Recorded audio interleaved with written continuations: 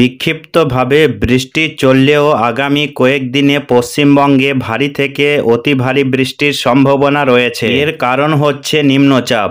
এর জেরেই দক্ষিণে দুর্যোগের আশঙ্কা করা হচ্ছে। আবহাওয়া দপ্তর জানিয়েছে, নিম্নচাপের জেরে সমুদ্র উতাল হবে। পঞ্চান্ন থেকে ষাট কিলোমিটার পর্যন্ত গতিতে দমকা ঝোড়ো হাওয়া বইবে। এই কারণেই মৎস্যজীবীদের সতর্কবার্তা দেওয়া হয়েছে। মঙ্গলবার পর্যন্ত তারা যাতে সমুদ্রে না যান, সেই পরামর্শ দিয়েছে আবহাওয়া দপ্তর। চলতি সপ্তাহে দক্ষিণবঙ্গের একাধিক জেলায় ভারী বৃষ্টি হবে বলে জানিয়েছে হাওয়া অফিস। অন্তত বুধবার পর্যন্ত হুগলি, পুরুলিয়া, পশ্চিম বর্ধমান, বীরভূম, উত্তর চব্বিশ পরগনা, পশ্চিম মেদিনীপুর, বাঁকুড়া, পূর্ব বর্ধমান, মুর্শিদাবাদ নদিয়া জেলায় ভারী বৃষ্টিপাত হতে পারে। ভারী বৃষ্টি হবে কলকাতাতেও। এই মুহূর্তে বঙ্গোপসাগরে তৈরি নিম্নচাপ দক্ষিণ বাংলাদেশে অবস্থান করছে। আজকে সন্ধ্যার মধ্যে বাংলাদেশ ও গাঙ্গেয় পশ্চিমবঙ্গের উপকূলে এই নিম্নচাপ আরও শক্তিশালী হবে। তখনই এটি সুস্পষ্ট নিম্নচাপে পরিণত হওয়ার সম্ভাবনা। নিম্নচাপ তৈরি হওয়ার পরবর্তী চব্বিশ ঘন্টায় এটি আরও শক্তি সঞ্চয় করে পশ্চিমবঙ্গের উত্তর পশ্চিম দিকে এগোবে, তার ফলেই এই আবহাওয়া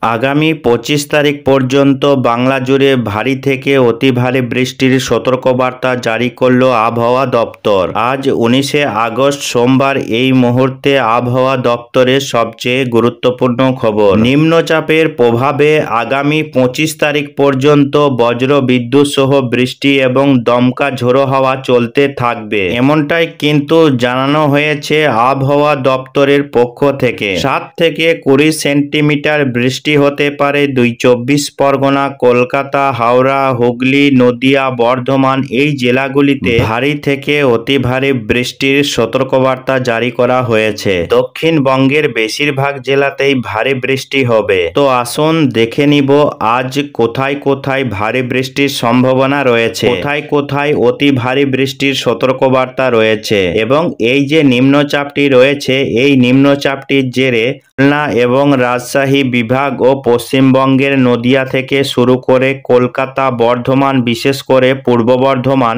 এবং উত্তর চব্বিশ পরগনা এই এলাকাতে নিম্নচাপটি অবস্থান করছে। অর্থাৎ বাংলাদেশ থেকে ধীরে ধীরে পশ্চিমবঙ্গের দিকে এগোচ্ছে নিম্নচাপটি। আজকে সন্ধ্যার মধ্যে নিম্নচাপটি বাংলাদেশ পেরিয়ে পশ্চিমবঙ্গে প্রবেশ করবে এবং এই নিম্নচাপটির অভিমুখ রয়েছে উত্তর পশ্চিম দিকে। পশ্চিম দিকে আসার পর কিছুটা উত্তর পশ্চিম দিকে সরে যাবে। অর্থাৎ বিহারে পাটনার দিকে এগিয়ে যাওয়ার সম্ভাবনা রয়েছে। পাটনা, গোয়া, দেওঘর এদিকে ভোগলপুর, পূর্ণিয়া এই এলাকা জুড়ে এই নিম্নচাপটি বৃষ্টি দেবে এমনটাই সম্ভাবনা রয়েছে। তবে তার আগে আগামী আটচল্লিশ ঘণ্টা বেশ খানিকটা ভারী বৃষ্টি পেতে চলেছে দক্ষিণবঙ্গ, শুধু পশ্চিমবঙ্গ নয়, বাংলাদেশের বিভিন্ন এলাকা জুড়ে ভারী বৃষ্টি আজকেও রয়েছে।